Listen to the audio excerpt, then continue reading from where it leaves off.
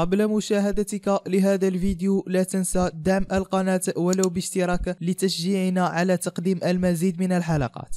السلام عليكم ورحمة الله تعالى وبركاته. مرحبا بكم في حلقة جديدة على قناتكم أنتاك اليوم سأقدم نصائح لكل من يريد اقتناء هاتف جديد وسأضع أيضا لكم رابط لموقع يعني يعطيك جميع المواصفات لهاتف ما. لكن قبل ذلك أدعوك للاشتراك في قناتي لأنني أريد الوصول إلى 10000 مشترك إن شاء الله قبل نهاية هذا الشهر المبارك. فلا تنسى دعمي ونبدأ على بركة الله بعد هذا الفاصل.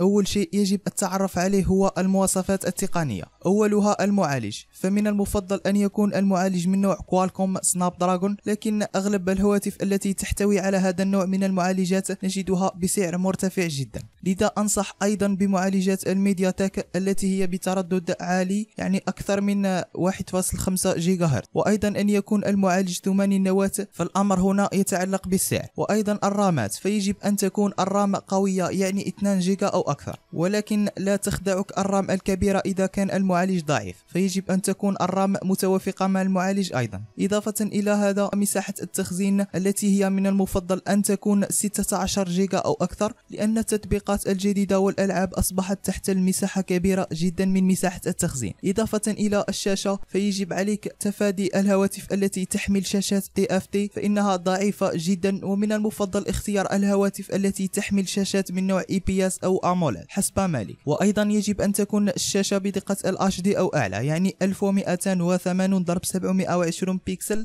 أو أكثر. يعني المهم أن تكون أو full HD أو أكثر. أنت تختار ما يناسبك. والآن ننتقل من المواصفات التقنية إلى الكاميرا. فالكاميرا تعتبر من أهم الأجزاء في الهاتف فليجب عليك مقارنة الهواتف بالنظر إلى الميجا بيكسل فيجب مقارنة حجم البيكسل الواحد وفتحة العدسات فتقريبا كل الكاميرات الجيدة نجدها بفتحة عدسة f على 2.0 أو أقل. فكما تعلمون كلما نقص رقم فتحة العدسة كلما كانت أفضل. أما بالنسبة للكاميرات الرديئة فممكن أن تجدها بعدد بيكسلات عالي لكن بحجم البيكسل الواحد يكون صغير جدا. فلهذا أنصح دائما باقتناء هاتف بفتحة عدسة جيدة ومستشعر كاميرا جيد للحصول على صور جيدة ورائعة تناسبك إضافة إلى ذلك فالتصميم أيضا له دور كبير. فأنا دائما أفضل التصميم البلاستيكي أو الزجاجي لكن هذا الأخير يعتبر سهل الانكسار. ويجب أن تكون مكونات الهاتف موزعة بشكل جيد مثل الأزرار ومستشعر البصمة والمكونات الأخرى إلى غير ذلك. ويجب أن يكون سمك الهاتف صغير بالإضافة إلى الوزن.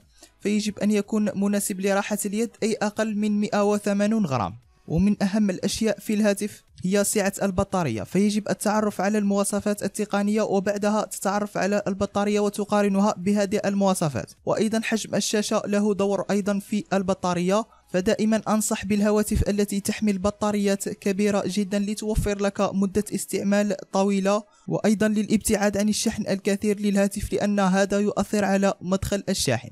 وبعد التعرف على كل ما ذكرناه في هذه الحلقة عليك مقارنته بسعر الهاتف الذي تريد اقتناءه.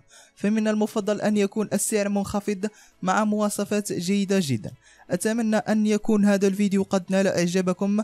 إذا أعجبكم لا تنسوا دعمي بالاشتراك في قناتي ولا تنسوا مشاهدة فيديوهاتي الأخرى. نلتقي في حلقة جديدة. والسلام عليكم ورحمة الله وبركاته.